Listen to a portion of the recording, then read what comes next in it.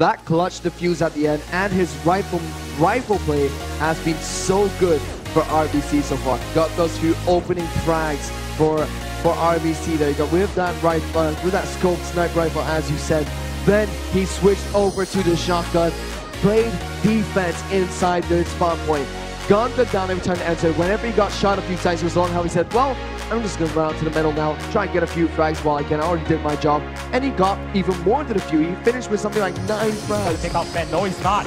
He will take out one. Makola will come around the corner. He has a rifle, takes out one, takes out two. Fan the last one standing. He has 16, 16 health. And the bomb is down though. 30, 30 seconds and counting. And where is Cola? Cola's on 107.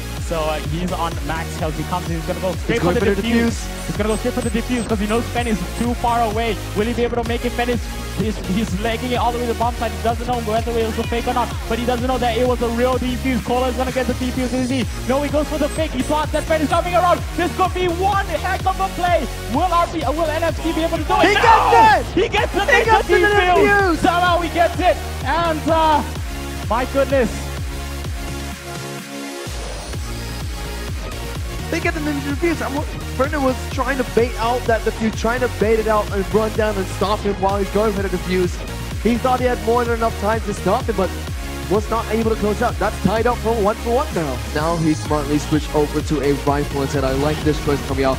Bob as well, he was using the AK-47 for a while, but I don't think that was a smart choice. This is a nice rush coming in from RBC. They get the bomb plant down on A, I believe. Now they're going to try and protect this site. They need to leave the actual bomb site because it's such an enclosed area. We've seen Rex before.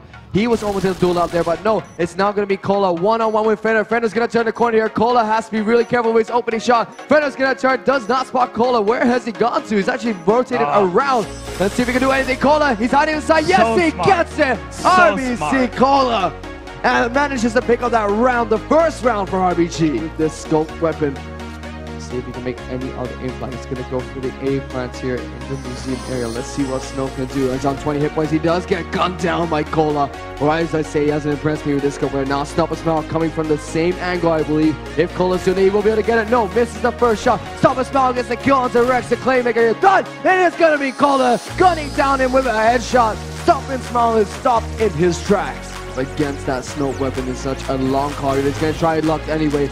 Doesn't manage to clip it, but it's gonna be the headshot coming in from Calder. Stopping Stop a Smile once again. Yeah. Jumping nicely to the bomb site. 18 seconds left. It's now or never. Verna has to go. He has three points of health. He has to take that Cola here. He has to get this shot. Will he get it? He will not. And Cola will get the clutch round for him. Look at how much more effectiveness Cola is for RBC with that rifle out instead of the scope weapon.